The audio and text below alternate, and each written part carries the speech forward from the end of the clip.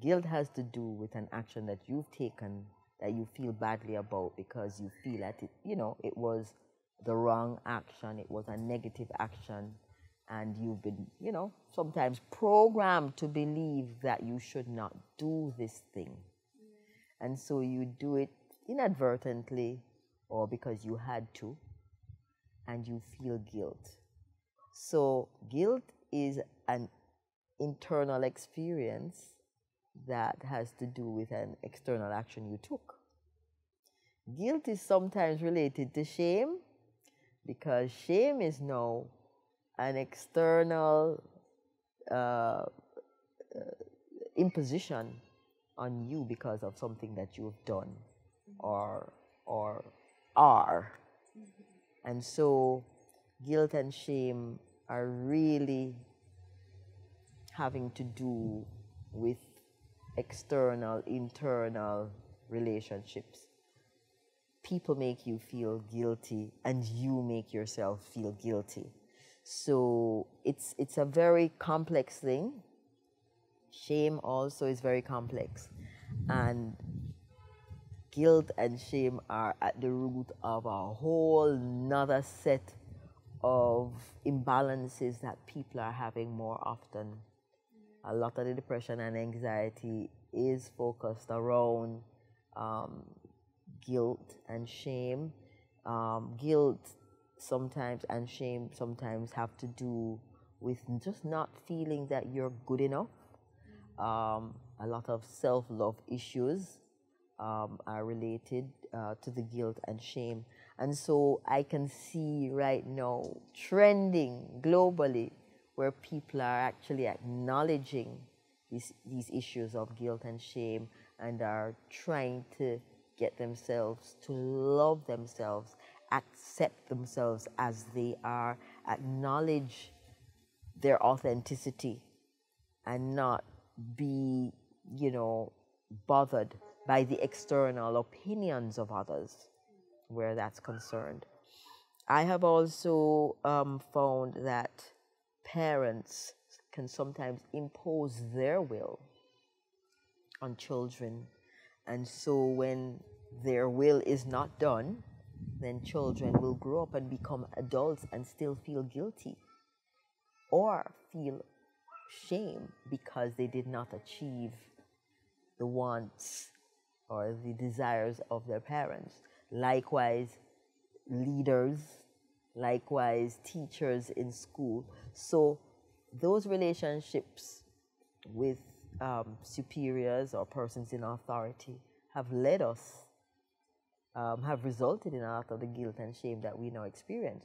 The church and religion is also a part of the guilt and shame experienced by a lot of people. We just have to call it what it for what it is. Um, norms are changing, there are expectations, you know, of 30 years ago, of 40 years ago, that are just simply unrealistic in modern society, but still we carry the guilt and shame because we still hear that little uh, voice in our head. We remember what our grandmother used to tell us uh, about this aspect or that aspect of things, and so we feel a lot of shame. It's time to let go of guilt. It's time to let go of shame. Accept yourself. Love yourself. Start to pick apart the things that you are guilty about and see if they are man made. Are they uh, societally imposed um, expectations? If they are, and they're not serving you, you can let them go and not feel guilty about it. I mean, personally, I'm I'm still reassessing a number of things and the things that I don't find relevant anymore because I've stepped away from expectations from society, from friends, from those in authority, and I just reassess it and if it's no longer serving me and I can't see the logic, I let it go and I'm no longer having the guilt. You know, when I was growing up, they told me that my nose was flat. I was ashamed of my nose being flat. But now that I realize that this is just how I was designed and built by the Creator, I accept it. Yeah? Again, the preponderance of women getting this part of their body done and this um, procedure to enhance their features.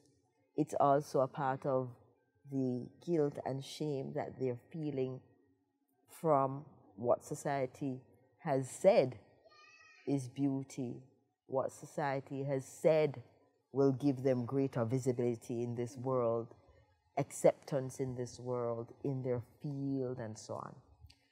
My advice reassess everything and start over from scratch. The beautiful thing is that we can, you know, flip the script and start over a blank page and build from there. That's the beauty of now.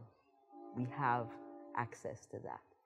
Release all the guilt, release all the shame, and see how your physiology changes. See how your relationships, your interpersonal relationships, also shift um, in the positive. With respect to parents and, and, and, and, and, and imposing their will on their children, I think there are two things happening actually in modern days where parents who suffered from their parents imposing their will on them have now given their children carte blanche to run amok and do anything they want.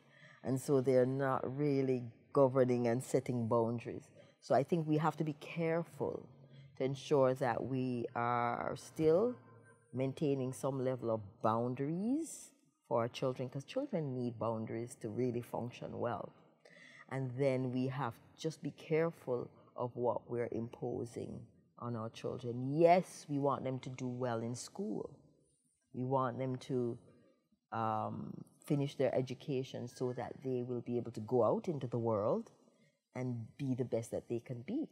But if you have a child that is simply not academic, you cannot force a square peg into a round hole.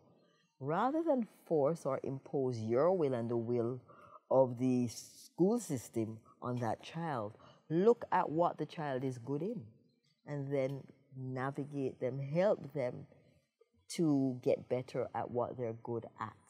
So you're not imposing your will on the child, you're helping them to isolate their strengths and then you nurture their gifts and strengths. So I think it's important when we're discussing um, the guilt and shame thing to ensure that parents are just a little bit more aware of how they, you know, treat their children, how they push their children, so that children are not scarred and left with guilt and shame for not achieving what their parents expected of them, what their teachers expected of them, what their peers expected of them very important.